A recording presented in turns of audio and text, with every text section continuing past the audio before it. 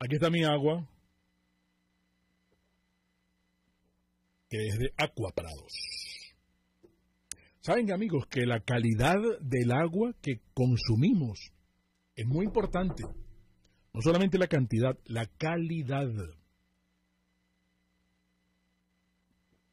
Y el agua de Acuaprados está garantizada y por eso decimos que es tan limpia y pura como un cristal. Bueno, en su Instagram con Q, Aqua, Aqua para guion bajo Prados. Centro Comercial Galerías de Prados del Este. Desayuno informativo, ya arrancando la semana, porque la mejor decisión depende de la mejor información. Y aquí está la señorita Erika, mujer. Para todos nuestros amigos. ¿Cómo está tu menú del desayuno informativo de hoy? Acabo de incorporar. acabo de, sí, sí, y acabo de incorporar lo que estabas diciendo, lo busqué. La felicidad. La felicidad. La felicidad. Ayer fue el Día Internacional de la Felicidad. Fuimos felices, mujer. En algún momento fuimos, felices. Nosotros estábamos en los rankings de países más felices del mundo. Sí, Venezuela ocupaba de la región, éramos el, país más feliz. Incluso eh, lo, interesante es que, bueno, en medio de toda la situación política, pues Venezuela seguía ocupando buenos lugares en ese ranking. Ya vemos que nos invertimos y el informe fue publicado el pasado viernes. Es interesante porque Brasil ocupó el puesto 39. Ah, ah, Ajá. Costa Rica el número uno. Y Ecuador también tuvo una buena una buena ubicación. Costa Rica, eh, Ecuador ocupó el puesto 76. El asunto, Mingo, es que retrocedimos. Estamos por detrás de Irak. vamos para atrás como el cangrejo, como decíamos antes, ¿no? El, refrán. Claro, pero mientras te oía quería saber cuáles eran los indicadores con los que este, la gente la gente de la ONU tomaba en cuenta para para medir este nivel de felicidad y según Jeffrey Sack eh, que es coautor del informe, señaló que esta genero, eh, se le pregunta a los participantes eh, cuál es la sensación de felicidad que tienes, datos que cruzan con el PIB, los niveles de libertad individual o la corrupción. Entonces señalaba además que la generosidad entre las personas y la honestidad de los gobiernos, honestidad de los gobiernos, voy a recalcarla, y yo agregaría incluso de los políticos, es crucial para el bienestar. Claro. Serbia, hubo países que mejoraron, pero notoriamente, Serbia, Bulgaria y Rumania avanzaron y retrocedimos. Venezuela, ¿cómo era? ¿Cuáles fueron las que tú señalaste? Bueno, no, no, Costa Rica, Uruguay, creo que me dijo mi vecina, Costa Rica, Uruguay. Están muy bien rankeados, muy bien. y Finlandia repite, creo que por quinto año consecutivo, como el país más feliz del mundo. Pues, ¿no? Obtuvo, pero fíjate, tampoco es que sacó 10 sobre 10. La evaluación es sobre 10 y obtuvo 7,82. No es una mala calificación, pero repite por quinto año consecutivo, de los 10 años que lleva ya este informe, repite como el país más feliz. Más feliz. Nosotros, como que coincido con tu vecina, nos estamos amargando y no nos sobran las razones para amargarnos. agigantados, ah, mujer. sí. Pero es que acaso sobran, nos sobran razones, Mingo. Por ejemplo, hoy, a partir de hoy, los viejitos comienzan a cobrar su pensión aumentada. Ya les habían pagado el retroactivo la semana pasada, 30 bolívares, quedan pendientes 30 bolívares más. Hoy les pagan adelantado el mes de abril, van a recibir 130 bolívares, el equivalente a, creo que son 30 dólares apenas 30 dólares, Mingo, según el cambio oficial. Eh, queda pendiente, como te comentaba, el retroactivo, que creo que son 60 bolívares más. Y creo que viene un nuevo aumento, no sé qué tan simbólico será a propósito de la fecha eh, que es primero de mayo. Día del Trabajador, creo que viene, no sé, si habrá que esperar, ¿no? Me imagino que Maduro lo, lo, lo adelantará como una especie de abreboca para, para, bueno, para, para que la gente trate de ser un poco más feliz de aquí al primero de mayo. Bueno, seguimos siendo uno de los salarios más bajos de la región. es, sí, del mundo, ¿no? del continente, por ejemplo. O sea, hablando solo de, de nuestro continente, seguimos siendo es que Haití gana, En Cuba ganan más que aquí. Sí, bueno, en Haití, ganan más que aquí. Claro. Nicaragua ganan más que aquí. Bueno, y, a partir, pero hoy los viejitos van a recibir en sus cuentas 130 bolívares. Pero también quería comentar, Domingo, que a partir de hoy, recuerda que lo habíamos mencionado la semana pasada, no sabíamos cómo iba a ser la forma de pago. Mm. A partir de hoy el metro no va a aceptar efectivo. Así ah, vale. Y los viajes se van a cancelar con una tarjeta. Va a haber una tarjeta que ellos van a diseñar con un promedio de 5 bolívares aunque los viajes... ¿Tarjeta virtual o es una tarjeta? Una tarjeta, me imagino que será una tarjeta de PVC. Porque aquí no hay plástico para hacer tarjetas, ni de débito, ni de crédito, ni de clubes, ni de nada.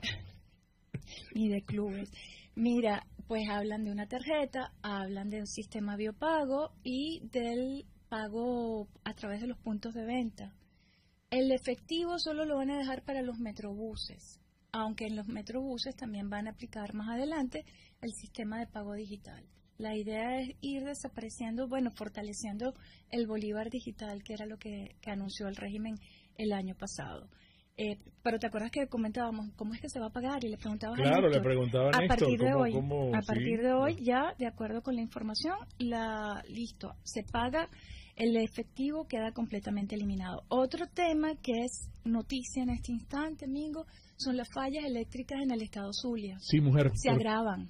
El fin de semana me dijeron, mira, eh, varias personas incluso, este, no es por ser más pájaro de mal agüero o como decía Luis Herrera, habló y acuñó aquello de los, profetas del desastre, pero todo parece indicar que se están juntando varios factores como para que nuevamente aquí se presente un apagón y nuevamente tengamos fallas en el suministro de gasolina, fallas, fallas que se hacen también en el interior del país. No sé si eso coincide porque eliminaron las bombas donde eh, eran subsidiadas. Entonces, pero wow, Maracaibo y creo eh, eh, que otras ciudades de distintos estados importantes están a oscuras o pasan hasta 12 horas sin, sin, sin, electricidad. En mi cuenta de Twitter, por ejemplo, me están pasando los reportes de Corpoelec y, y, y, y los horarios que coloca Corpoelec muy distanciados con relación al suministro de, del servicio de energía eléctrica. Y la gente se la está viendo fea, se la está viendo negra,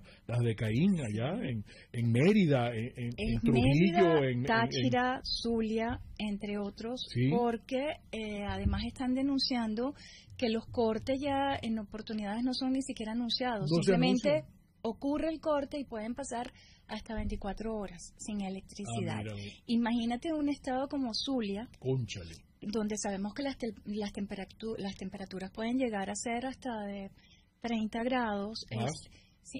poniéndolo amablemente en 30 grados, imagínate a los zulianos lo que, lo que están enfrentando. Pero yo tengo por aquí, Mingo, las declaraciones, por ejemplo, que hizo el gobernador de Mérida, Jason Guzmán, que es del PSV, dijo la, la semana pasada eh, que los merideños eran muy exigentes y que en vez de quejarse tanto deberían gritar de felicidad, qué bueno que llegó la luz en tal lado.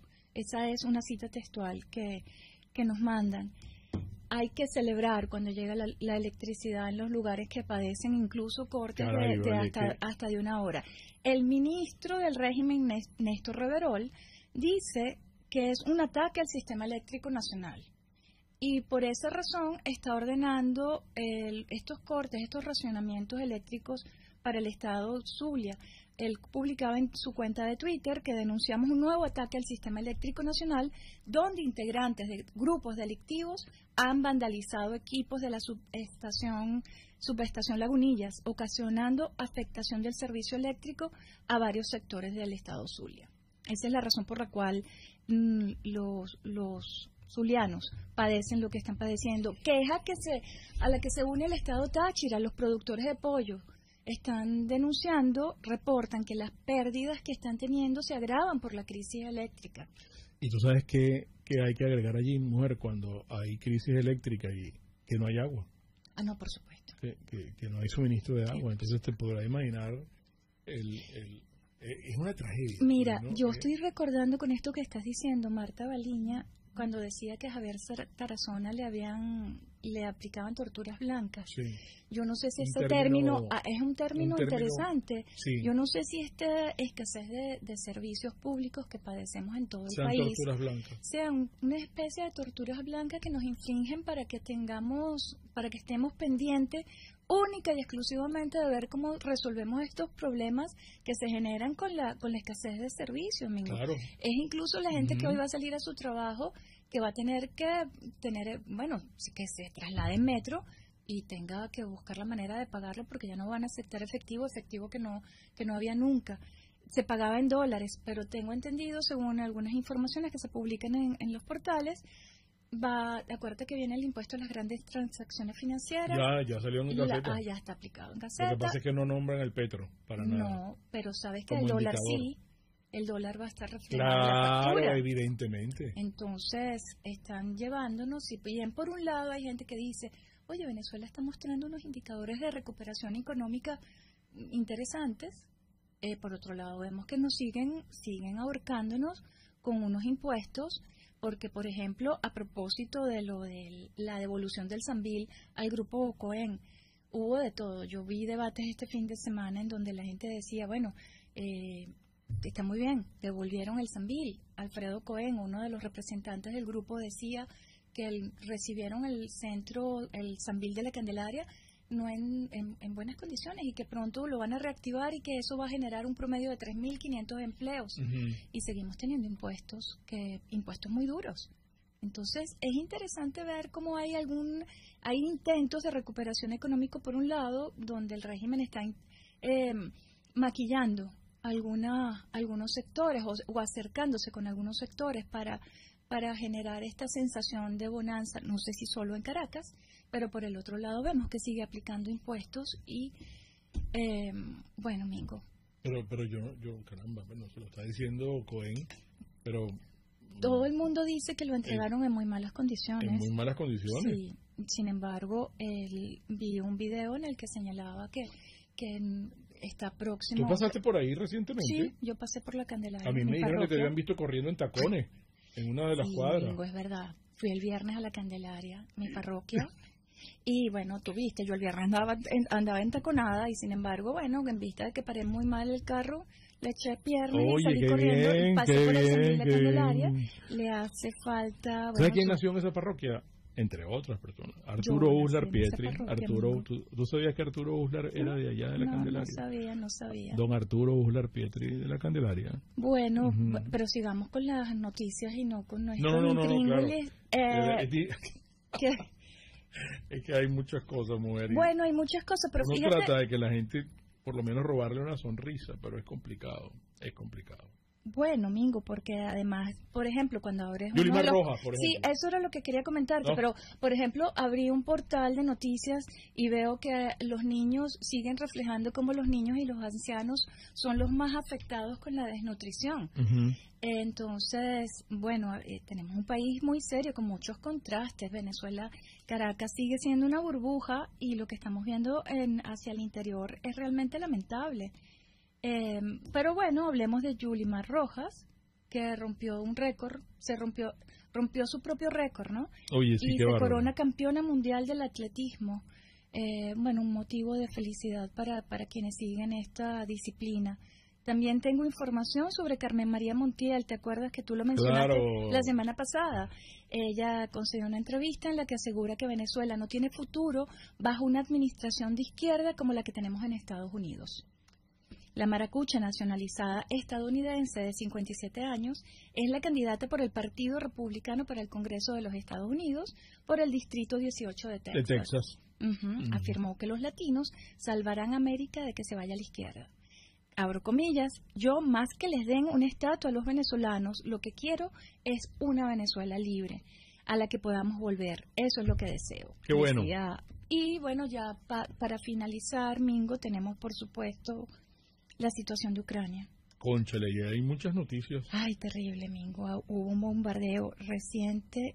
Eh, la ONU confirmó, por ejemplo, que ya van más de 900 civiles muertos durante la invasión de Ucrania.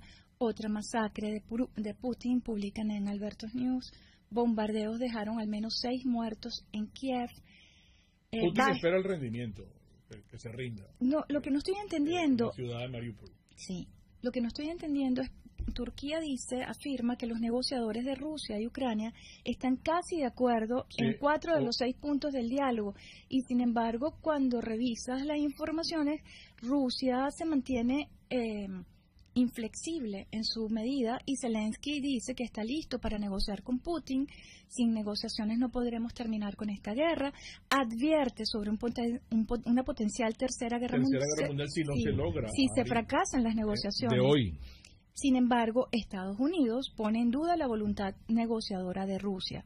El ultimátum de Rusia para que las fuerzas ucranianas abandonen la ciudad de, de Mariupol, Mariupol siguen allí y por eso los sigue asediando. Rusia vuelve a disparar misiles hipersónicos contra Ucrania, donde la situación humanitaria empeora. El Papa también habló. Sí, Mingo, pero hay, que meterle esta situación de Ucrania. guerra repugnante el Papa. Sí, pero esta situación de, Ucrania y Rusia eh, la veo lejos de lo que dice Turquía, que ya están a punto. Boris Johnson pidió a China condenar la invasión rusa de Ucrania.